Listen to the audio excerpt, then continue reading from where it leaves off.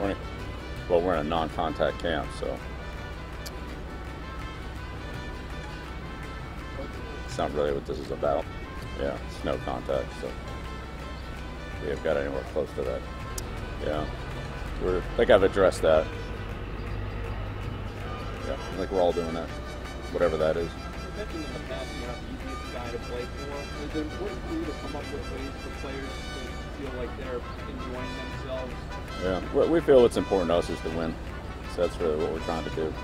Not really focused on what everybody else is doing. Uh, yeah, I don't know. Every year is different.